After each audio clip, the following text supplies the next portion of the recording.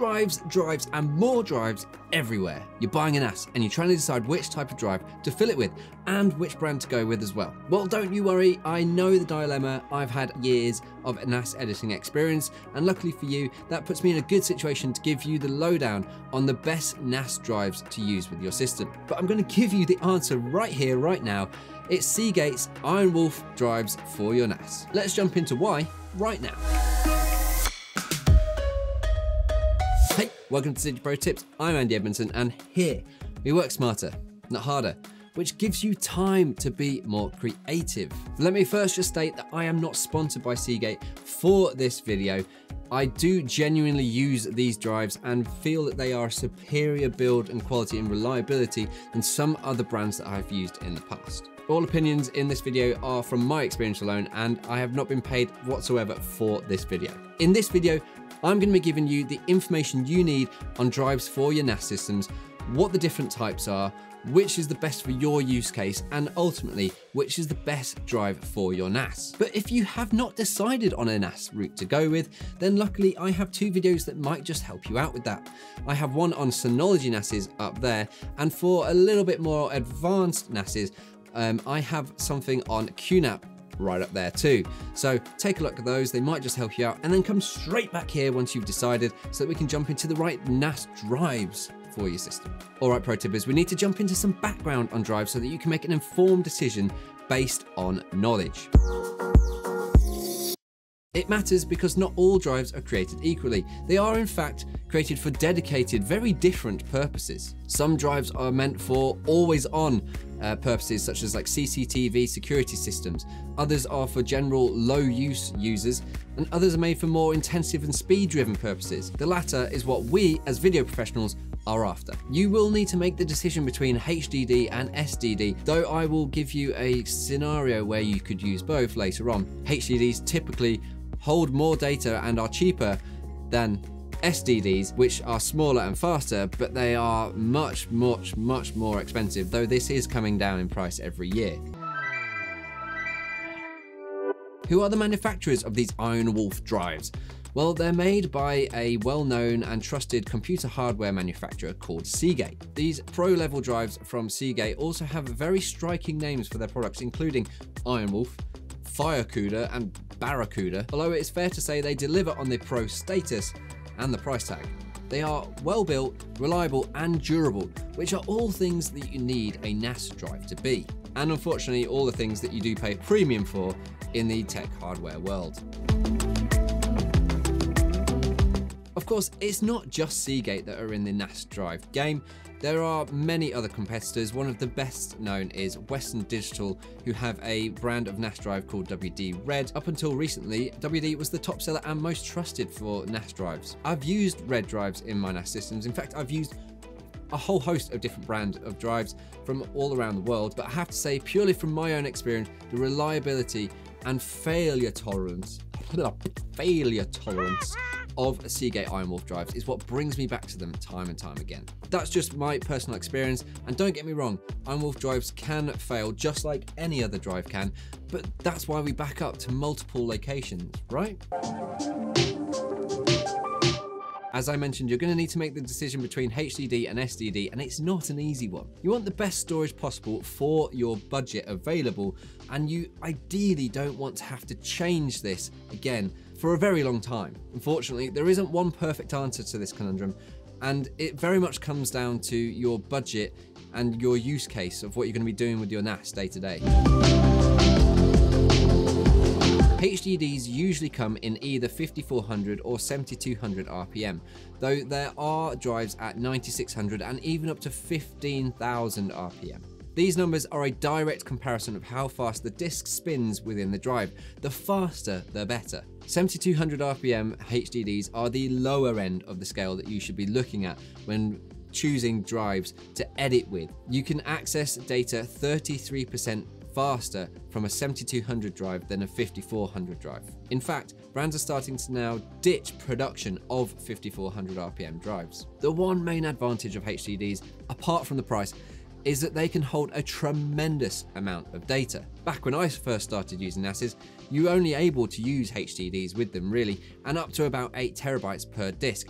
Nowadays, you can go way, way above that. And of course, you have the faster SSD storage. You can buy disks as big as 32 terabytes, and NAS enclosures, pretty much as standard, allow 16 terabytes these days and more. That's a lot of data when you have multiple bays to fill up in your NAS and it can quickly get into the hundreds of terabytes, sometimes into the petabytes. Now the main downside of HDDs is that they are nowhere near as fast as SSDs. Because you have a disk that is manually spinning, you are never going to be able to compete with a chip that holds all of its data without any mechanical parts to it whatsoever. When looking at video editing, we want the fastest storage possible, and when you hold it up to SSDs, that is never going to be beat with HDDs. However, that doesn't mean we shouldn't buy HDDs, and in fact, for small startup businesses, I would argue that that's a good way to go.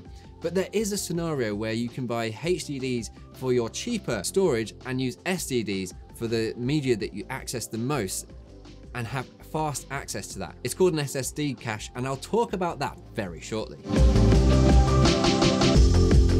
Solid state drives are exactly what they sound to be solid, non moving drives that pass data between hard mounted chips. Solid state drives are the ultimate storage medium for consumers right now.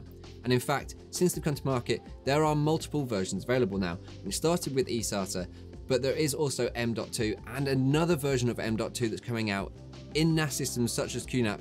I talked about it very briefly in the DigiPro News podcast, but E1.S NVMe SSD drives are now a thing and they're now making their way into consumer storage. You'll most commonly find though that M.2 is the fastest connection for an SSD at a good price point. And luckily, SSD caches mostly use this connection type. SATA is the slowest connection for an SSD, but it is still faster than a 7200 RPM HDD. Solid state drives are so much faster than HDDs for this factor that it's not even really comparable. A conventional SSD can move data three to four times faster than a HDD, which is around about 500 megabytes per second. And the newer NVMe drives can move data 20 times faster, around 3,500 megabytes per second. This sounds very impressive, but it comes with a price tag. Well, it's still hotly contested, but an SSD cell usually has around 3,000 write cycles. This doesn't sound like much at first, but the controller of an SSD disk is very good at making sure that it is as efficient as possible with which cells it writes to to avoid cell death. Even if you were to read and write to an SSD 24 hours a day, you would still have decades worth of use. Right, so what is this great technology called SSD caching? Well, in its most basic terms, it's using a HDD and an SSD in a NAS together and using the HDD as what we call cold storage and storing all of the data that we don't access very often or archive projects all on the HDDs, which is lower priced and you can have more of it, and using the SSDs to cache all of the data that we access frequently to make sure that we can access it faster and therefore we only need to buy a little bit of it because it's a higher price. The NAS enclosures these days cleverly analyze which data you are accessing the most and therefore have a copy on the SSD or depending on which NAS you use, um, QNAPs for example use Qtier where they can move it between the SSD and the HDD. There isn't a, you don't have to replicate data. It's a win-win situation, fast access, lower costs.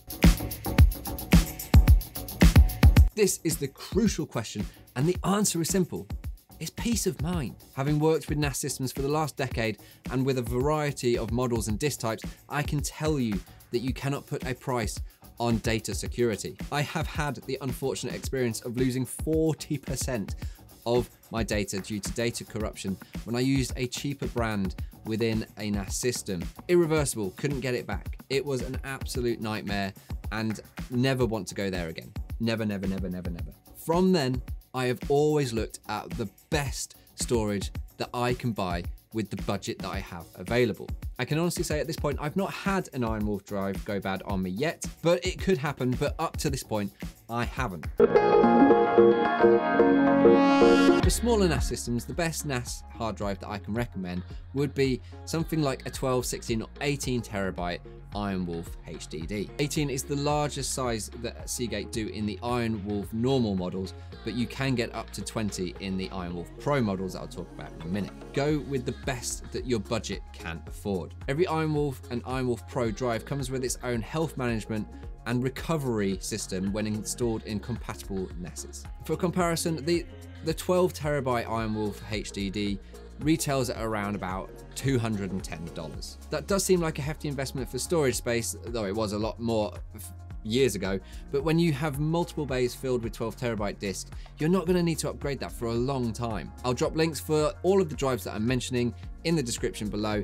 Have a look, see what size you need, what the prices are, and you might even find some deals. If you can afford it and have four bays or more, then investing in SSDs from the start could be the ultimate experience for your video editing needs. Ironwolf SATA SSDs come in substantially smaller sizes than the HDD counterparts, so you need to be sure that you're not going to want to upgrade that storage anytime soon past like 12 terabytes if you've got a 4 bay NAS because 4 terabytes is the highest you can get and that 12 terabytes is based on you having a RAID level setup. Without any RAID you could get 16 but I wouldn't advise that. They do also do a 3.84 terabyte SSD which is a little different and has more endurance hours out of it so that's probably the one that I'd go for even though you get slightly less storage space out of it. The 3.84 and the 4 terabyte Ironwolf SSDs retail for around about 550 to 600 dollars. Yeah that's that's a lot for storage but it is fast storage and it's reliable storage. You really do get what you pay for when it comes to NAS storage. As I mentioned, if you have the ability to build and utilize an SSD cache in your NAS or have the ability to add in a M2 slot within, then it is advantageous to do so and will boost your video editing experience. There's also great cost benefits to doing this too. Due to their form factor, they are really quite small, M.2 SSDs hold even less data than the SATA SSDs do. The largest Ironwolf M.2 drive that you can get is 1.92 terabytes. Even with just one of these disks in your NAS system, the efficiency boost that you could get is well worth the $350 price tag, even if every other drive in your NAS is a HDD. For larger NAS systems above 4 bays, then you have to start looking at the Pro models of the Ironwolf drives with the added security of the five year warranty over the three year warranty, it's worth the extra investment because we know that drives do fail. The Ironwolf Pro models also have the ability to store more than the normal Ironwolf models do. As I mentioned, the highest the Ironwolf Pro models can go up to is 20 terabytes. Two terabytes is not to be sniffed at, but do check the compatibility of your NAS system with how large a capacity drive it can accept. If it can't accept a 20 terabyte drive, then you don't want to go and buy a 20 terabyte drive. You want to get the highest that it will accept for your money. And for an example, a 16 terabyte Ironwolf Pro drive retails for around about $280. Ultimately, it's up to you where you put your budget, but as my motto here is work smarter, not harder, I can only advise that Ironwolf will save you a headache in the future and allow you to work more efficiently which gives you time to be more creative.